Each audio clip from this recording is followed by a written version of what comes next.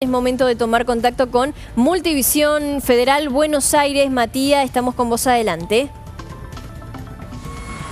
Gracias, Bárbara. Nos encontramos en el barrio de Caballito, específicamente en Avenida La Plata y José Bonifacio, en donde ayer alrededor de la una y media de la mañana explotó y comenzó a prenderse fuego un compresor que había encima de la estación de servicio que está ubicada justo en esta esquina.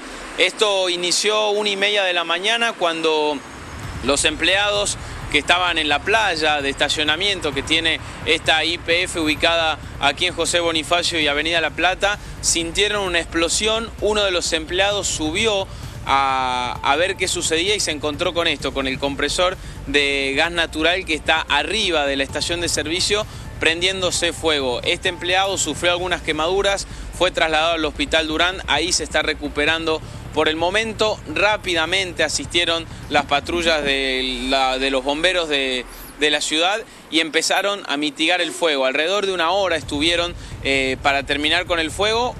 La preocupación, claro, era que abajo hay combustible y material súper eh, inflamable, así que el accionar de los bomberos fue rapidísimo, estuvieron atentos y tomaron todas las medidas de seguridad para evitar que el fuego se dispersara y sobre todo que el fuego cayera para la parte de abajo en donde está la, lo que ustedes ven que, se estaba prendiendo fuego. Esto ocurrió, como les decía, una y media de la mañana, salvo este empleado que, fue, que sufrió algunas quemaduras leves, el resto de los empleados tuvieron que salir, tuvieron que, eh, por supuesto, desocupar el área en donde estaban trabajando los bomberos. Según indicaron, no hubo riesgo porque al estar al aire libre, esto evitó que también el fuego se dispersara y empezara a tomar otros elementos. Esto favoreció, si podemos decirlo de cierta manera, para que el fuego sea controlado con mayor rapidez y sobre todo con, que lo controlen correctamente los bomberos.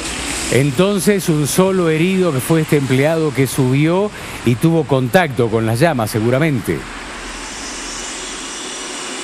Sí, fue quien al sentir la explosión, ustedes eh, aquí se puede ver a través de, Avenida La Plata, hay una escalera que sube una especie de terraza que da acceso a esta parte superior en donde está este compresor. Eh, fue ahí donde subió el empleado y donde se encontró con esta llamarada que claro, al ser eh, un material inflamable sufrió algunas quemaduras fue trasladado por una ambulancia de la ciudad eh, al Hospital Durán. Ahí se recupera, según lo que nos indicaron eh, aquí cuando hablamos eh, con algunos de los playeros que están ahora, se está recuperando correctamente, no sufrió heridas de gravedad. Bien. Pero claro, tuvieron que cortar ayer el suministro de energía en la estación de servicio y también en acá al lado funciona una iglesia que también tuvo que ser desactivado para evitar cualquier tipo de inconveniente futuro. La estación de servicio entonces hoy sin servicio. Sin servicio, así es. Perfecto. Muchísimas gracias, Matías. en este momento. Muy bien, nos encontramos. Hasta luego, muy gentil. 9 de la mañana, un minuto, la información desde Multivisión Federal Buenos Aires.